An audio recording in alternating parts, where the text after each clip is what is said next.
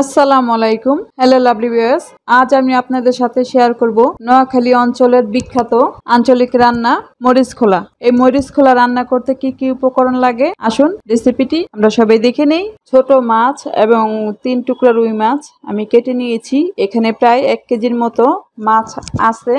আপনারা চাইলে এখানে ছোট মাছ সহ আরও অন্য কোনো ধরনের মাছ নিতে পারবেন। ইলিশ মাছ, চিংড়ি মাছ, এগুলো দিয়েও করা যাবে। পেঁয়াজ লাগবে দেড় কাপ। এই রান্নায় ঝালের পরিমাণ একটু বেশিই হয়। আর এই তরকারি খেতে কিন্তু অনেক স্বাদ হয়। জাল হলেও খেতে খারাপ লাগে না। এখানে শুকনা মরিচ আমি নিয়েছি বারোটার মতো। আস্ত শুকনা মরিচ, আমি শুকনা মরিচের গুঁড়াও ব্যবহার করব। আপনারা ঝালের পরিমাণ কম খেতে চাইলে একটু কমিয়ে নেবেন। আর সাথে আছে প্রায় বারোটার মতো কাঁচা মরিচ।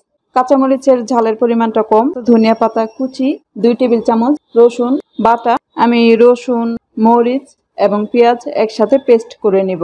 হলুদের গুঁড়া এক চা চামচ, মরিচের গুঁড়া দেড় চা চামচ, লবণ স্বাদ মতো। সরিষার তেল লাগবে হাফ কাপ।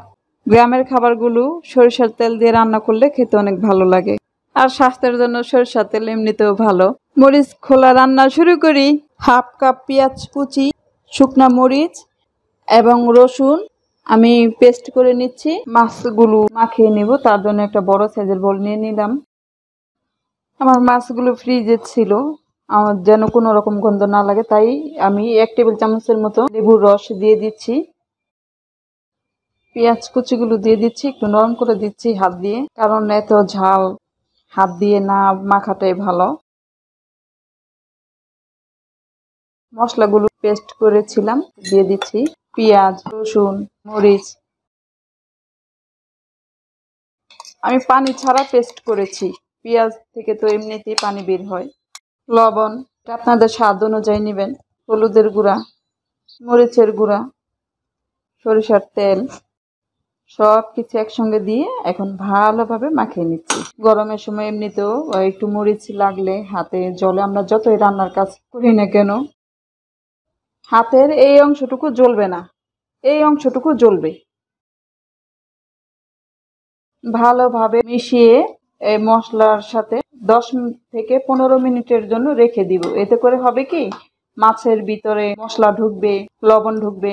মাখানোর সময় এত ভালো দেখাচ্ছে। মনে হচ্ছে যদি রান্না করা থাকতো, সাথে সাথে গরম ভাতের সাথে খেয়ে ফেলতাম। আর রান্না করলে তো কতটা টেস্ট লাগে, আপনারা যখন রান্না করবেন তখন নিজেরাই বুঝবেন।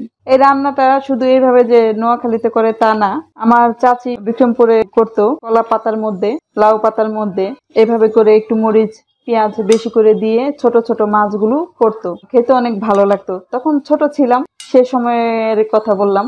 আর এখন দেখি এক এক রান্না, এক এক দেশের জন্য অনেক বিখ্যাত।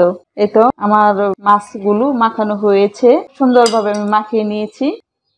কাছ থেকে দেখে দিলাম। এই মাছের মধ্যে আপনারা চাইলে কিন্তু তিন চারটা কচি লেবু পাতা দিতে পারেন। সেক্ষেত্রেও ফ্লেভারটা ভালো আসে। প্রায় দশ মিনিট পরে ফিরে এলাম। এখন এগুলো দিয়ে ভালোভাবে আমি মিশিয়ে নিব।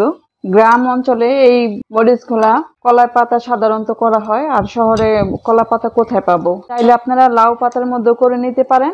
আমি ফয়েল পেপারে করে নিচ্ছি। এই তো এইভাবে ভালোভাবে মিশিয়ে নিলাম। একটা ফ্রাইং প্যানে আমি ফয়েল পেপার বিছিয়ে নিয়েছি। এখন মশলা মাখানো মাছ বিছিয়ে দিব।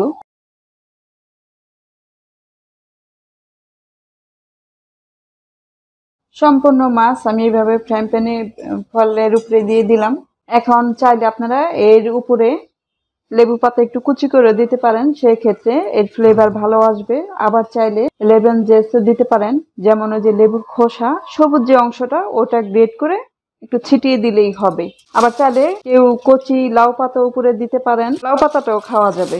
এখন আমি আরেক টুকরা ফয়েল দিয়ে এইভাবে ভালো করে কভার করে দিচ্ছি।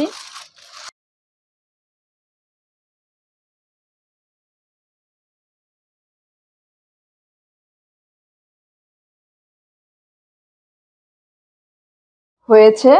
এখন এই ফ্রাইং প্যান চুলায় বসিয়ে দিব। মিডিয়াম হাইয়ে পাঁচ মিনিট রাখব।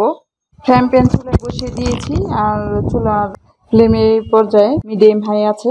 ঢেকে দিতে হবে। পাঁচ মিনিট অপেক্ষা করি। পাঁচ মিনিট হয়েছে। এখন চুলার ফ্লেম লো মিডিয়ামে রাখব। প্রায় দশ থেকে পনেরো মিনিট। আর চুলার ফ্লেম আমি দেখিয়ে দিলাম। পনেরো মিনিটের মতো হয়েছে। ঢাকনা খুলে আমি একটু উল্টে দিব, যেন দুই সাইড একটু পুরা পুরা ভাব থাকে। আপনারা চাইলে এইভাবে তুলে একটা প্লেটও নিয়ে তারপরে উল্টে দিতে পারেন পেনে।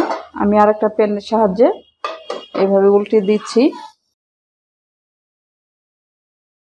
একটু সাবধানে উল্টাবেন। এখন আবার ঢেকে দিচ্ছি। আরও দশ মিনিটের জন্য।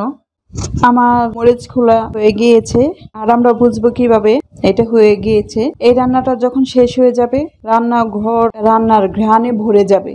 তখনই বুঝে নিতে হবে যে এত সুন্দর একটা গ্রান বের হয়েছে, আমাদের রান্না হয়ে গিয়েছে। এখন আমি নামিয়ে পরিবেশন করে দেখাবো। দেখুন কি সুন্দর একটা পুরা পুরা ভাব।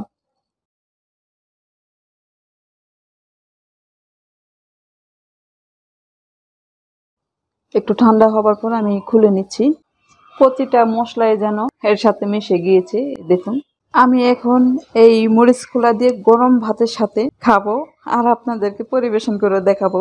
এই তো তৈরি আমার মরিচ খোলা। এই রেসিপি যেমন চট জলদি করে নেওয়া যায়, আবার খেতে ভীষণ মজা। আশা করি এই রেসিপিটি আপনাদের সবার কাছে ভালো লাগবে। আর ভালো লেগে থাকলে লাইক কমেন্ট এবং শেয়ার করবেন। নতুন নতুন রেসিপি পেতে আমার ইউটিউব চ্যানেল সাবস্ক্রাইব করে আমার পাশেই থাকবেন। যারা সাবস্ক্রাইব করেছেন, তাদের জানে অসংখ্য ভালোবাসা। রেসিপিটি দেখার জন্য সবাইকে অনেক অনেক ধন্যবাদ।